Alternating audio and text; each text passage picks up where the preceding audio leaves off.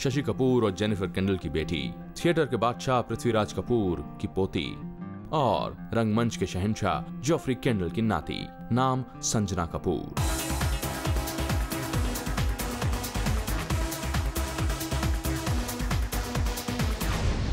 संजना कपूर जब फ़िल्मों में आई तो ये बात साफ़ हो गई कि कपूर खानदान में कोई बंदिश नहीं कि उनकी लड़कियाँ फ़िल्मों में काम कर सकती हैं। इनकी नानी लॉरा कैंडल भी एक अभिनेत्री थी और रंगमंच में इनके परिवार का बड़ा ज़बरदस्त योगदान है। संजना कपूर की पढ़ाई लिखाई हुई बॉम्बे इंटरनेशनल स्कूल, मुंबई से। इनके पिता ने एक बड़ी ज़बरदस्त फ़िल्म बनाई 36 चौरंगी लेन, जो कि सन उन्नीस सौ इक्यासी में आई थी, जिसमें इनकी माता ने बड़ी ज़बरदस्त भूमिका निभाई थी। उसमें एक किरदार में ये भी नज़र आई। उन्नीस सौ चौरासी की फ़िल्म उत्सव में भी ये नज़र आई थी। और ऐसे छोटे किरदार इनके भाई करण कपूर और कुणाल कपूर ने भी निभाए थे, इनके पिता की ही प्रोड्यूस्ड फ़िल्म में।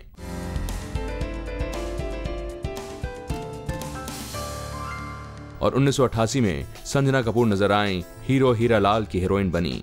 हीरो थे नसीरुद्दीन शाह। बॉक्स ऑफ़िस पर इस फ़िल्म ने कुछ खास कमाल नहीं दिखाया था। और 1988 में मीरा नायर की ज़बरदस्त फ़िल्म सलाम बॉम्बे में भी ये नज़र आई थी। पर बहुत जल्द ही इन्होंने फ़िल्मों से किनारा कर लिया। ये समझ गई थी, इनका चेहरा मोरा, जरा विदेशी लगता है। और हो सकता है कि इंडियन ऑडियंस दिल खोल के इन्हें एक्सेप्ट ना करे।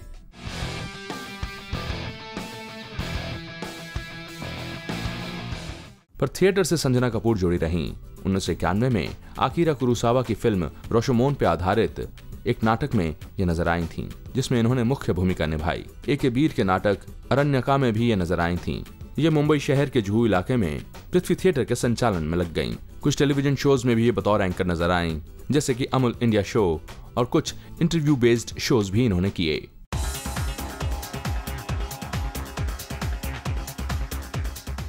इनके निजी जीवन की तरफ़ रुख करें तो इनकी शादी हुई।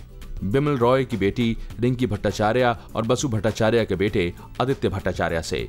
लेकिन ये शादी टूट गई और फिर इनकी शादी हुई वाल्मीकि थापड़ से और इस शादी से इन्हें एक बेटा है, नाम हामिर। हालाँकि बाद में ये दिल्ली शिफ्ट हो गई, लेकिन दिल्ली और मुंबई के बीच फासला ही कितना है। यकीनन, कपूर खानदान की इस बेटिया ने बहुत सी गलत फहमियाँ दूर की और अपना एक अलग मकाम हासिल किया। महान प्रतिभाओं के जीवन के बारे में जानने के लिए सब्सक्राइब करें पीपल एंड हिस्ट्री।